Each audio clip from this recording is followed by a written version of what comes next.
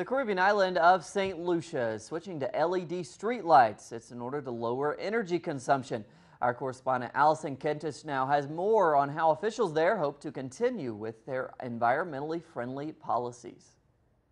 Energy officials in St. Lucia say the switch to LED street lighting is part of government's national policy for improving energy efficiency. The energy minister says the LED lights are environmentally friendly, consume less electricity, and require less maintenance than the previous high pressure sodium bulbs. Residents of St. Lucia are welcoming the news. The energy saving bulbs is a very good initiative. It will force St. Lucians to change the way they use electricity, being more conservative, conservative with the electricity they use, especially if the street lights and everything around you.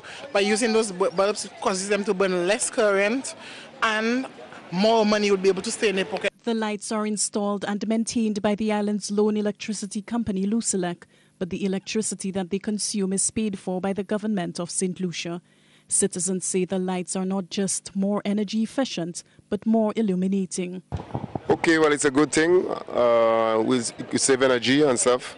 Um, and I feel, I feel um, with, with, the, with the LEDs, like, to me, to me, you get more light from it. Well, it's good. The lights burn around 10% less energy than the lights that are normally used. Energy officials in St. Lucia say the LED street lighting conversion project will reduce both long-term costs and future energy consumption. Allison Kentish, De St. Lucia.